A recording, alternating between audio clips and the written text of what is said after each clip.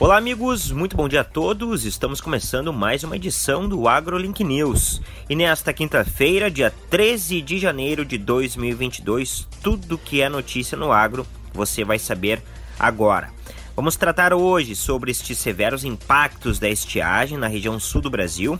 Por isso também vamos atualizar as informações sobre a busca por crédito agrícola. E já que nós estamos falando em mercado, também vamos detalhar o início das movimentações agrícolas neste começo do ano. Portanto, a partir de agora tem reportagem, entrevista, previsão do tempo e muito mais.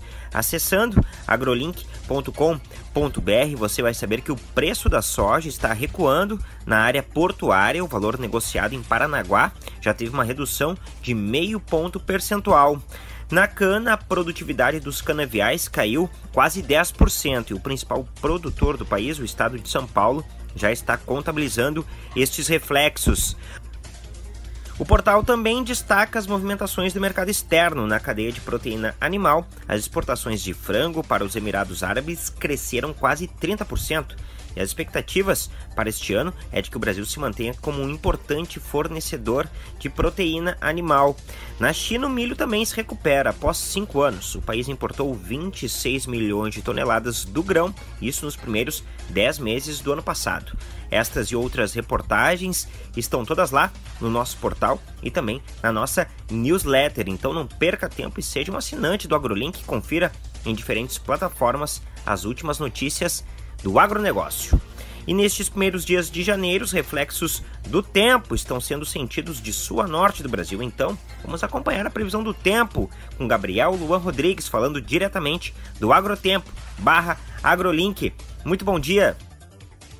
Olá, Lucas! Muito bom dia. Bom dia para quem está no campo, para quem está na cidade Pois bem, a previsão de hoje vai ser um pouquinho diferente por conta da intensa massa de ar quente e seco que atinge o Rio Grande do Sul. Então, Lucas, vou trazer aqui aquele breve monitoramento do tempo e os destaques são para alguns municípios do estado gaúcho: Uruguaiana, Quaraí e São Gabriel. Nessas localidades, os termômetros passaram dos 40 graus. E Lucas, essas temperaturas são medidas por estações que seguem um padrão e os termômetros dessas estações ficam abrigados da incidência direta do Sol, ou seja, são registros de 40 graus na sombra. E com certeza, em muitas outras localidades, as temperaturas foram ainda maiores. Outro agravante dessa intensa massa de ar quente que atua no sul do continente, atingindo também Uruguai, Paraguai e principalmente a Argentina, são os baixos índices de umidade do ar.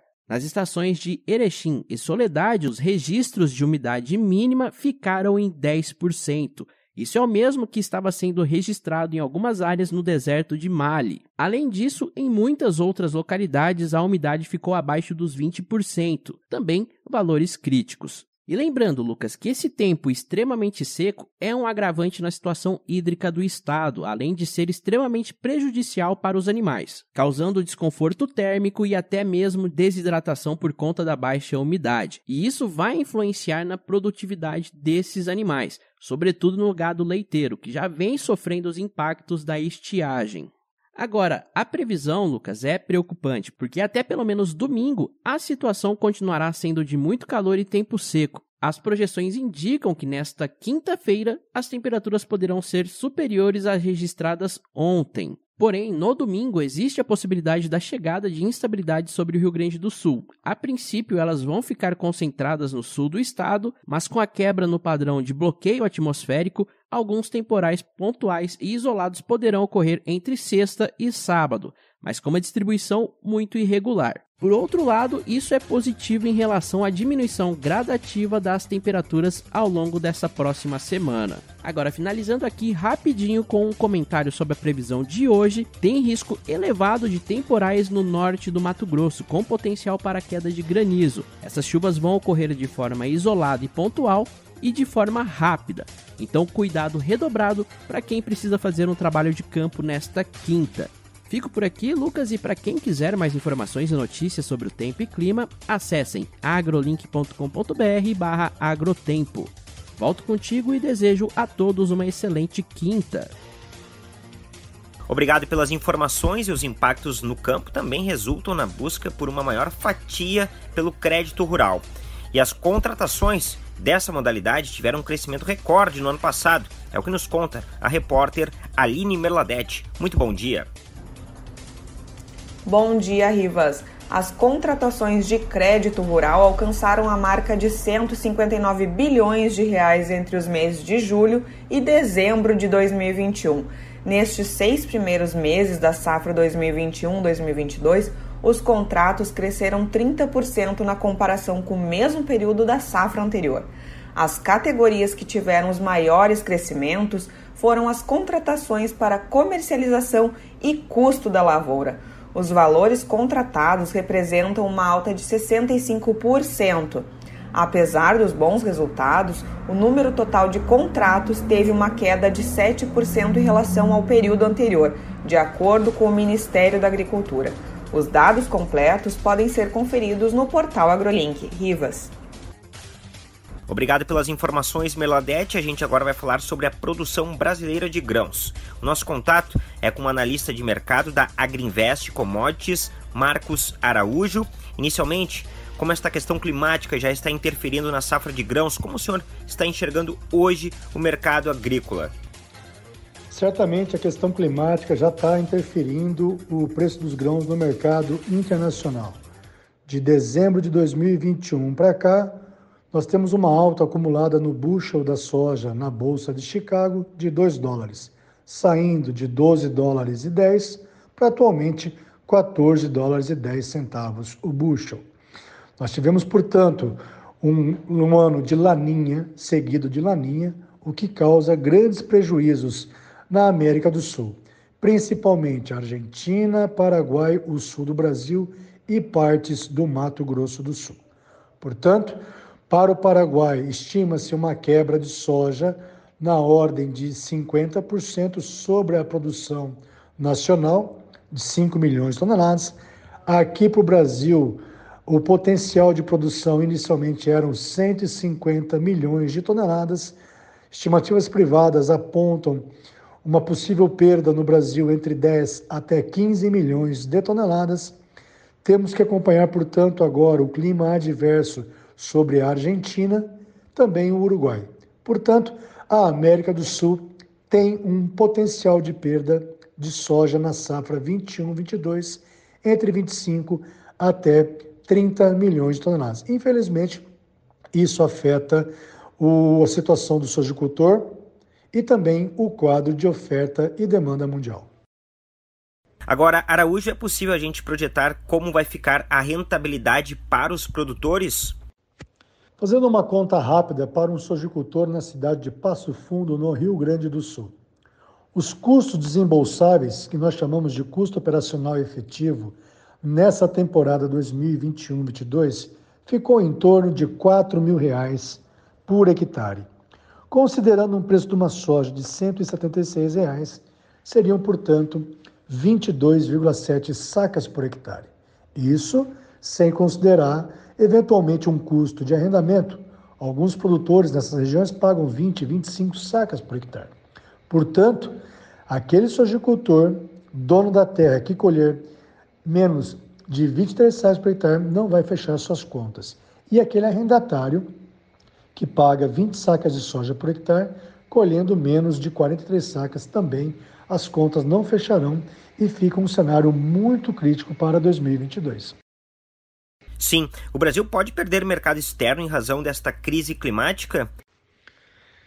confirmando uma produção brasileira na ordem de 137 milhões de toneladas nessa temporada 21-22, o que seria uma perda em torno de 13 milhões de toneladas em relação ao teto potencial de 150. Dessa forma, com 13 milhões de toneladas a menos, certamente as exportações brasileiras serão racionadas.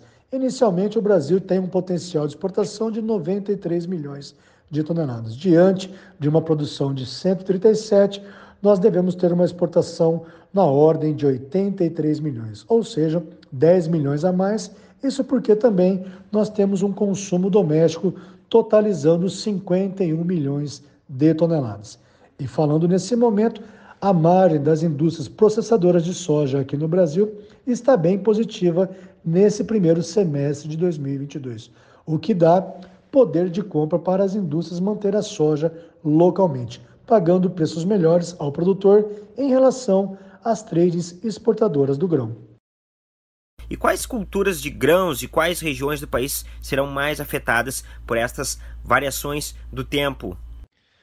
Inicialmente, as culturas mais prejudicadas com laninha foi a cultura do milho na região sul do Brasil, partes também da região sudeste, e logo depois a soja sofrendo bastante no Paraná, Rio Grande do Sul e também Mato Grosso do Sul. Já em algumas partes da Bahia, Minas Gerais, Tocantins, por exemplo, nós temos grandes volumes de chuvas acumulados, característica desse laninha também. Portanto, essas regiões que logo mais vão começar a colher soja. Se nós tivermos essa continuidade de todo esse volume de chuva durante a colheita, certamente também teremos impacto sobre a qualidade dos grãos da soja e também podendo comprometer partes da produtividade local, consequentemente uma redução na produção daquela região. Agora, Marcos Araújo, o que hoje é mais preocupante para a produção brasileira? As chuvas no Nordeste, Norte ou a estiagem na região Sul? Eu diria a seca na região sul do Brasil, isso porque no sul do Brasil concentram-se dois grandes produtores de soja, sendo o Rio Grande do Sul o segundo maior produtor e o terceiro maior produtor de soja no Brasil, o estado do Paraná. Já no Nordeste, nós temos estados também importantes, mas não tanto quanto Rio Grande do Sul e Paraná. Portanto, a seca no sul do Brasil, na minha opinião, é muito mais preocupante do que um eventual excesso de chuva no Nordeste. Sim, e o senhor acredita que os produtores uh, estão aí preparados para enfrentar esta crise ao longo deste ano? Olha, o produtor sempre é otimista por natureza. A gente planta na expectativa de uma boa colheita para que a gente faça a nossa parte e a mãe natureza a parte dela. Infelizmente, não uma crise tão grave assim, muitos não estavam preparados para tamanha crise. E vai ser um ano difícil, principalmente para os produtores do Rio Grande do Sul e Paraná. Infelizmente, é um ano que não começa bem para o agronegócio nessas regiões do Brasil. Devemos ter fé em Deus, continuarmos trabalhando firme para que possamos aí alongar essas dívidas e recuperar esse prejuízo nessa safra. Esta entrevista com Marcos Araújo, analista de mercado da Agriinvest Commodities. E agora vamos falar sobre seguro rural. É que no ano passado o programa de subvenção ao prêmio do seguro rural do Ministério da Agricultura destinou mais de um bilhão de reais para mais de 120 mil produtores rurais. Mais detalhes a gente confere na reportagem de América Melo. Em 2021, o programa de subvenção ao prêmio do Seguro Rural do Ministério da Agricultura, Pecuária e Abastecimento aplicou 1 bilhão 180 milhões de reais, valor 34% maior que o executado em 2020. Com isso, todos os indicadores são recordes no seguro rural em 2021. Foram beneficiados aproximadamente 121 mil produtores rurais, contratadas 218 mil apólices e a área segurada total foi de 14 milhões de hectares, 2,4% superior ao resultado de 2020. O valor segurado no país alcançou o recorde de 68 bilhões e 300 milhões de reais no ano passado, um aumento de aproximadamente 49%. As seguradoras já pagaram entre janeiro e outubro de 2021 em torno de 3 bilhões e 600 milhões de reais em indenizações aos produtores, o que representa um aumento de 76% sobre os 2 bilhões e 100 milhões de reais pagos no mesmo período de 2020. O valor é recorde também desde o começo do programa de subvenção ao Prêmio do Seguro Rural em 2006.